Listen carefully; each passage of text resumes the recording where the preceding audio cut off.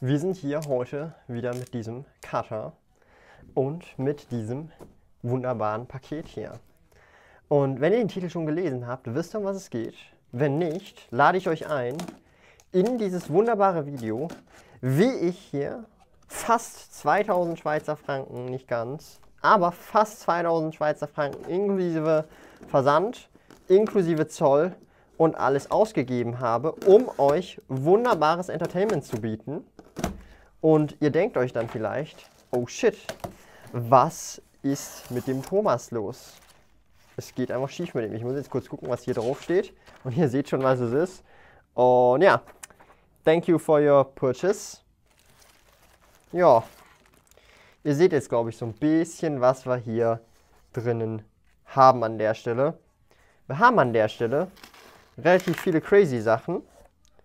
Und das wäre hier erst einmal Metaso, dieses Kit. Ja, das ist das Patreon Kit, wenn ich mich hier recht erinnere. Und es müsste das wirklich komplette, also ich hoffe zumindest, das komplette Patreon Kit sein.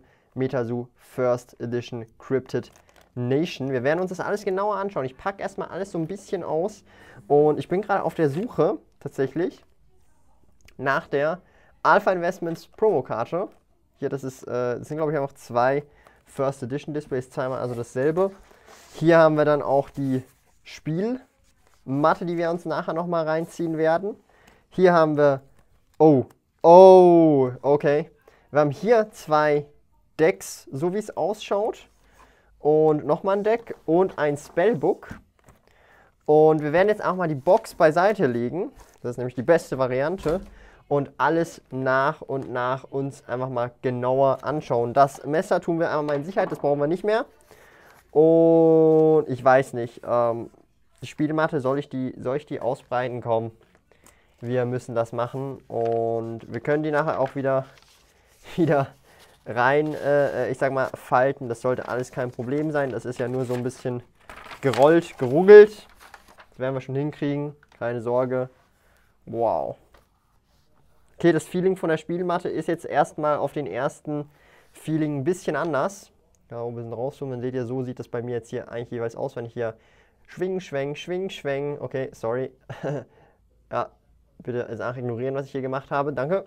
Ähm, ja, ich würde mal sagen, wir packen diese Spielmatte so rein, dass ihr hier alles Wunderbärchen seht und tatsächlich hier Alpha Street Investment euch da wirklich das reingönnen können. Ich versuche das noch ein bisschen besser. Kriege ich das so hin, dass die ganze Spielmatte im Bild ist? Ja, komm, wir machen es so. Gibt es hier noch ein bisschen Rand? Ist egal, aber dann könnt ihr die ganze Spielmatte begrüßen. Sieht wirklich wunderhübsch aus an der Stelle. Und wir gehen jetzt einmal durch mit den Produkten. Also wir haben hier einen Blister, der leider ein bisschen angebogen ist, mit Mothman First Edition Stamp hier unten mit einer Coin und einem Booster Pack an der Stelle.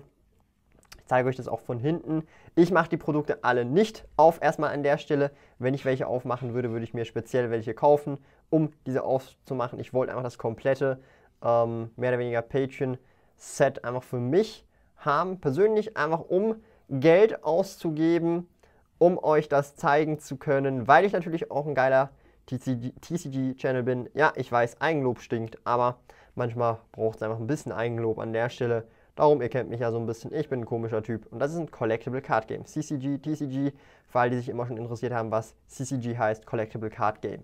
Natürlich auch Pokémon und Yu-Gi-Oh! sind auch CCGs.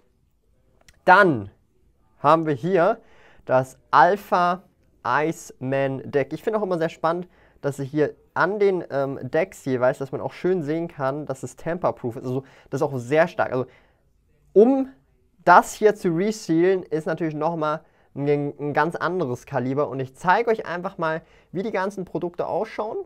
Dann könnt ihr zu Hause entscheiden, ist es euch wert, wie dieser Timmy, äh, dieser, dieser Spielkoyote hier, ähm, so viel Geld für etwas auszugeben, was sowieso am Ende des Tages niemand will und nur Investoren sich das ganze Zeugs gegenseitig abkaufen an der Stelle. Ähm, ich muss ganz ehrlich sagen, ich gebe jedem TCG eine Chance. Ähm, würde ich jetzt Meta so spielen? Aktuell gerade nicht. Ich habe aktuell einfach gar keine Zeit, um überhaupt irgendein TCG zu spielen. Egal ob jetzt Pokémon, Yu-Gi-Oh! oder so. Ähm, da haben wir das Lightning Deck. Ding, Bell, Ring, Leader, Thrime, äh, Tribal Theme Deck, nicht Thrime. Auch wieder First Edition natürlich alles. Man hört auch, ich glaube, da ist eine Coin oder so drin oder ein Würfel. Ja. Aber, ich weiß nicht, also es riecht so ein bisschen, keine Ahnung. ich muss ganz ehrlich sagen, es riecht so ein bisschen gummig habe manchmal so das Gefühl, es erinnert mich an irgendwas. Ich weiß nicht, ich glaube, es, erinnert mich an Shisha-Tabak. Frag mich nicht, wieso, meine Güte. Wie komme ich auf Shisha-Tabak? Ähm, hier haben wir nochmal ein Deck. Nachher gehen wir dann auch nochmal die Promokarten durch. Also ich gehe jetzt in keiner bestimmten Reihenfolge rein. Aber wenn wir schon alle Decks haben, Release Event Box, okay. Cryptid Nation, das ist nochmal was anderes. Das sind hier also zwei Theme-Decks. Und das ist ein Release Event Box mit ist das der, was ist das für ein? Ist das der Mothman? Ja, das sieht aus wie der Mothman. Und hier sehen wir, uh, was ist denn das hier für, für Cryptids? Okay, was ist mit dem hier? Uh, der Drache ist auch ganz wild. Gucken wir mal hier hinten. Also ist, äh, ich finde so ein bisschen diese Stamps äh, erschweren das Ganze, um hier das jetzt zu lesen, wenn ich das lesen wollen würde. Ähm, schon spannend. Hier. In this release event box you will find, ähm, achso, Pages sind Karten, okay. Genau, weil es mit Büchern ist. Ein Sealed Holographic Promo Card, ein Rulebook und Free Booster Packs. Okay. Und hier äquivalent ähm, tatsächlich äh, finden wir ein Deck, eine Holo-Promo, eine Metallic Coin, Rulebook und sogar ein Booster Pack. Hier sind auch drei Booster Packs drin, äh, zusätzlich zum Deck. Okay. Ähm, das heißt, so ein Release-Event-Box ist wesentlich interessanter, wenn ich das richtig sehe gerade.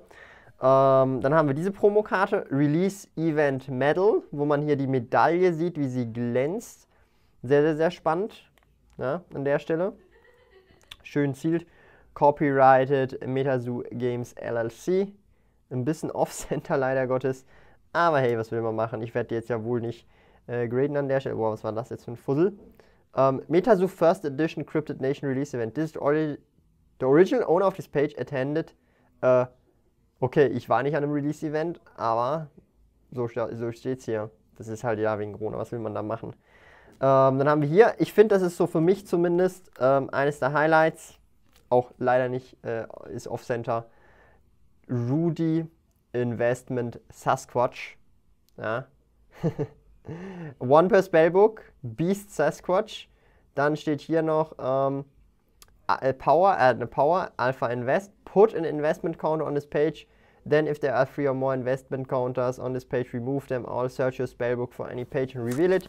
You may contact, uh, con contract that page as if it were for chapter for two or less aura of any type, then shuffle your spellbook. Okay, ich weiß nicht, wie das Spiel geht, darum ja.